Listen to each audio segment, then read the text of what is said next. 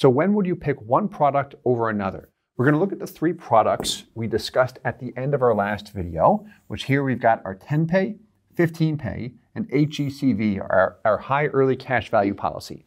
Now, the thing about these, they're all products with Mass Mutual. So when I'm looking at these products, I've got the exact same company, the exact same dividend rate, yet when I look at them, I will see different results.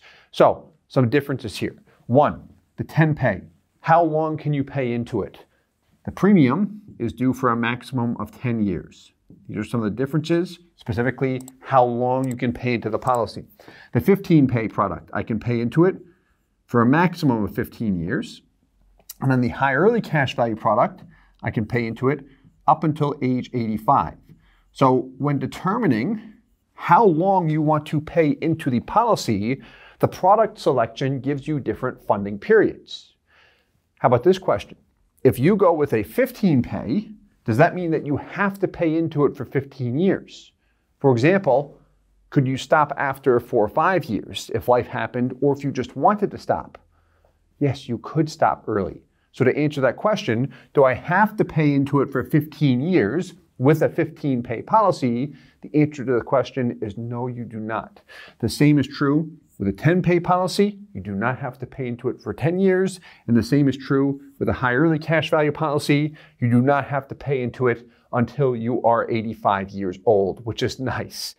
So, the funding periods represent how long you can pay into the policy if you wanted to, the maximum funding period. What are some of the differences? Well, if you're interested in the cash value benefit,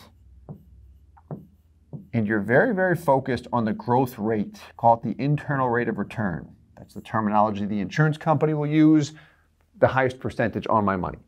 The 10 pay among Mass Mutual products will be number one. The 15 pay will be number two. The high early cash value will often range between three and five. A lot of times it's number three, but it does range here. What I mean when I say that is if I am going to treat all of these policies equally and fund $100,000 per year for 10 years, a total of $1 million, the 10 pay will give me the most money, especially long term. But you'll see the most money in that option between years four and five, again, when all things are equal. Because remember, I can have a 15 pay policy and stop after 10 years.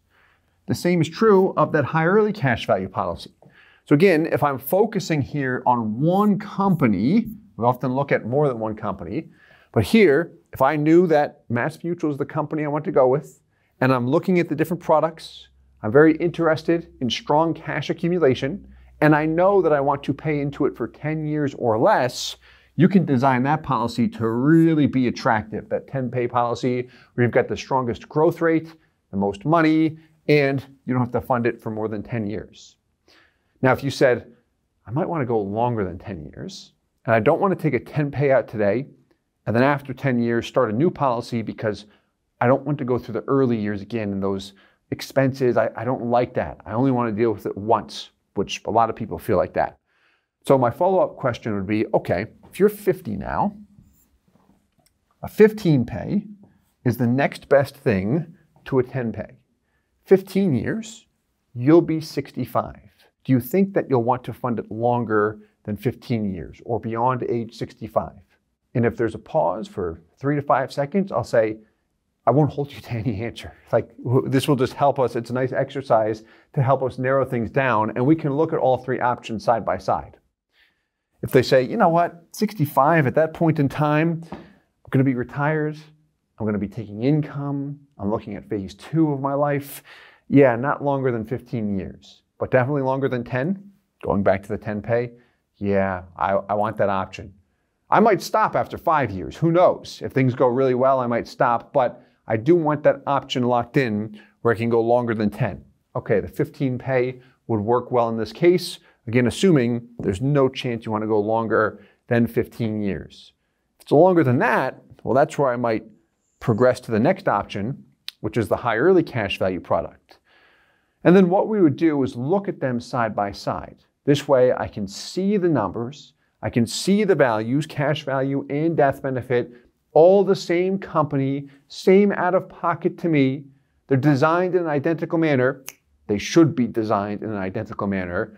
What we don't want to do is skew the numbers to make one look better than the other. So from a design standpoint, what we talked about in our last video, you've got the base premium and then the paid up additions rider. In these three examples, if I'm funding 100K per year, I'd want to make sure my base premium's at 10,000 across the board. I want to make sure that the MEC limit is at $100,000 for each of them. Not the same death benefit, but the same MEC limit. Unless the person expresses, if this is you, unless you express, I want the same death benefit across the board. Then we'll look at it that way. But these products different death benefits will give you, give you the same MEC limit. What that means is I need, for example, a lower death benefit to get the same 100K MEC limit with the 10 pay compared to the higher early cash value.